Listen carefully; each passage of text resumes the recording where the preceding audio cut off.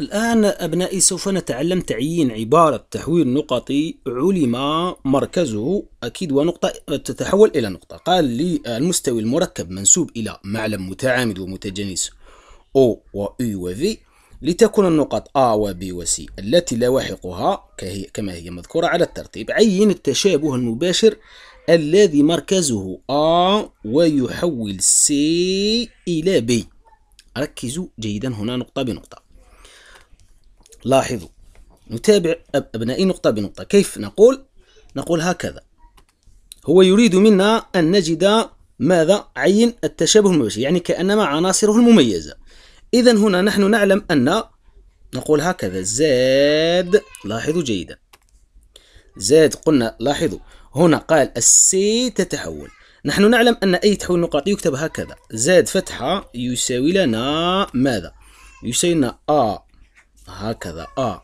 Z. زائد B. أي التحويل يكتب بهذه البساطة. ويريد منا أن نجد هنا كأنما ال A وال B تابعوا مع العناصر المميزة. هو قال ماذا؟ C ويحول C إلى B معناه نقول هكذا. Z B هي التي تأتي هنا تساوي لنا أ في ماذا؟ في زاد أ زاد سي لاحظوا جيدا. A في Z C زائد ماذا؟ زائد B لاحظوا. إذا قلنا دائما تقول C C إلى نقول هكذا هكذا. الذي يكتب هنا. إذا سي تتحول إلى ماذا؟ إلى بي معناه هنا دائما هذا اللي يأتي هنا. هذا اللي يأتي هنا هنا الصورة. يعني هذه آم فتحة وهذه آم يعني آم تتحول إلى آم فتحة بواسطة هذا التحويل إذا سميناه أس. ركزوا هنا أبنائي. هذا الشرط الأول. لاحظوا جيدا. معناه سوف نكتب إحداثيات أو لواحق كل نقطة منهما. إذا تصبح لنا ماذا؟ ها هي. زاد ب نأتي بإحداثيها أو بلاحقتها هنا. تساوي لاحظوا جيدا. تساوي لنا ماذا؟ أ. ها هو الأ في زاد سي زاد سي ها هي أبنائي. لاحظوا جيدا. ها هي أبنائي أمامكم. إلا أنه هنا لا ننسى الأقواس. زائد ماذا؟ زائد بي لا نعرف هذا بي أين هو. قال ومركزه الذي مركزه. بما أن هنا قال تشابه ومركزه معناه نقول هكذا المركز. زاد أ يساوي ماذا؟ يساوي لنا بي قاعدة ماذا تقول؟ بي هكذا. على واحد ناقص أ هذا هو القانون. حيث هنا زد أ عندنا قيمتها اللي هي إي ها هي يا أبنائي إي نجعلها كأنما هذه تساوي إي والمطلوب هنا إيجاد الأ والبي اللذان باللون الأخضر. نتابع جيدا نقطة بنقطة أبنائي. كيف تتم العملية؟ هنا لو نكمل العمل. ماذا نقول؟ هنا جداء الطرفين. في جداء الوسطين ماذا ينتج؟ ينتج لنا ب يساوي. هنا في هذه المعادلة رقم هذه رقم واحد. إذا سميناها رقم واحد. ماذا ينتج؟ ب يساوي لنا واحد ناقص أ في إي جداء الطرفين في جداء الوسطين. معناه أن البي يساوي سوف ننقل هذه القيمة يا أبنائي إلى هذا المكان لكي نجد ماذا؟ لكي يبقى لنا المجهول الوحيد ما هو؟ هو الأ تصبح لنا ناقص اثنان زائد ثلاثة إي يساوي لنا ركزوا أرجوكم حتى تتعلموا لو ننشر هنا مباشرة ماذا ينتج؟ تنتج لنا ناقص أربعة أ زائد خمسة إي أ أنا أقوم بعملية النشر هكذا. ثم قلنا هذه تنقل إلى هذا المكان. ماذا ينتج؟ ينتج زائد ونكمل هنا كذلك النشر مباشرة سوف بدون. إذا زائد واحد ناقص أ في إي. نتابع نقطة بنقطة أبنائي حتى لا تختلط عنا الأمور. تساوي لنا ماذا؟ المطلوب هو إيجاد الأ هنا في هذا التمرين. تصبح لنا ناقص اثنان زائد ثلاثة إي يساوي لنا ركزوا. ناقص. قلنا أربعة أ زائد خمسة إي أ ثم هذا في هذا. زائد إي ناقص أ إي. نشرت هذا كذلك. الآن نفكر أن نستخرج الأ هذا كعامل مشترك. ماذا ينتج يا أبنائي؟ ينتج لنا ناقص اثنان زائد ثلاثة إي يساوي لنا نستخرج قلنا الأ كعامل مشترك.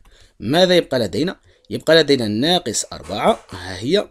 ولاحظوا جيدا. وتبقى لنا زائد خمسة إي وناقص إي هكذا. والعدد الذي يبقى لدينا هو هذا لوحده. ها هو أمامكم زائد ماذا؟ زائد إي. ركزوا. نكمل. ماذا ينتج يا أبنائي؟ ننقل هذا إلى هذا الطرف. يصبح لنا ناقص اثنان مع ثلاثة إي وهذا لما ينقل يصبح ناقص إي معناه تصبح لنا زائد اثنان إي يساوي أ في ماذا؟ في عندنا نا تصبح ناقص أربعة وهذا مع هذا كم؟ نا زائد أربعة إي لأن الآخر نقل ركزوا أرجوكم ومنه أ ماذا ينتج؟ أ يساوي لنا هكذا. يساوي لنا هذا الذي باللون الأحمر اللي هو ناقص اثنان زائد اثنان إي على ناقص أربعة زائد أربعة إي ركزوا أرجوكم. هنا ما علينا الآن إلى الظرف في المرافق أولا قبل الظرف في المرافق يمكن أن نستخرج الاثنان من البسط والاثنان من المقام ونختزل. ينتج لنا ماذا؟ ناقص واحد زائد اثنان إي آه عفوا ليس زائد اثنان إي زائد إي على المقام. قلت نختزل. آه، تصبح لنا ناقص اثنان زائد اثنان إي. لم أفعل شيء. قمت بقسمة هذا على اثنان وقمت بالقسمة هذا على اثنان فنتج ذلك. ثم نفكر أن نضرب في المقام نضرب في المرافق. لنتخلص من الإي تصبح لنا ماذا؟ أ يساوي. ونأتي بخط هكذا. ونكمل الحساب. يصبح لنا ناقص واحد زائد إي هكذا. مضروبة في المرافق اللي هو ناقص اثنان ناقص اثنان إي. وفي المقام تصبح لنا لما نضرب نقول ناقص اثنان زائد اثنان إي. في ناقص اثنان ناقص اثنان إي. القاعدة تقول مربع الأول زائد مباشرة مربع هذا فقط. مباشرة زائد مربع اللي هو زائد أربعة. لماذا؟ لأن تصبح هي في الأصل تصبح لنا مربع الأول اللي هو أربعة ناقص مربع الثاني اللي هو أربعة إي مربع. لكن هذا الإي مربع يجعلها زائد. يعني كم ينتج؟ ينتج في المقام بدون ما نتعب. عقولنا العدد ثمانية. إذا نكتب هنا ثمانية. يبقى لنا البسط علينا أن نكمل النشر نقطة بنقطة. تصبح آ يساوي. هكذا. هنا نكتب ثمانية. ثم هذا في هذا. كم؟ اثنان. ثم هذا في هذا. كم؟ تصبح لنا زائد اثنان إي. ثم هذا في هذا. ناقص اثنان إي ثم هذا في هذا. لاحظوا حتى لا نخطئ. ناقص اثنان إي في إي. تصبح لنا ناقص اثنان إي مربع. والإي مربع كم يا أبنائي؟ اللي هو الناقص واحد. ما تعطي لنا ناقص اثنان في ناقص واحد وتساوي لنا اثنان. هنا زائد اثنان. هذا هو الشيء الذي تحصلنا عليه. الآن بعد ما أكملنا مع ذلك سوف نلاحظ ماذا سوف يحدث. يحدث الأمر التالي أنه هذا يذهب مع هذا. تبقى لنا أربعة على ثمانية ويساوي لنا نصف. إذا الآ ظهر يا أبنائي كم؟ هو النصف. لاحظوا جيدا. إذا بعدما استخرجنا أن الآ قلنا عليه أنه نصف. إذا آ نصف. يبقى لنا شيء آخر اللي هو البي ما علينا إلا الإتيان البي إلى هنا. يصبح لنا بي يساوي واحد ناقص ماذا؟ الآ في إي ركزوا فقط. يصبح لنا ماذا؟ بي يساوي لنا هذا في هذا. يصبح يا أبنائي ماذا؟ كم؟ يصبح لنا إي وهذا في هذا ناقص واحد على اثنان إي بهذه البساطة. الآن ما هو طبيعة الآن؟ عبارة التحويل هو قال أوجد هذا التحويل التحويل يصبح بهذه البساطة يا أبنائي لاحظوا يصبح زاد فتحة يساوي لنا واحد على اثنان. زاد زائد البي ما هو البي يا أبنائي؟ ركزوا اللي هو نفسه كما قلت واحد آه ثم هنا لون واحد المقامات معناه هنا اثنان.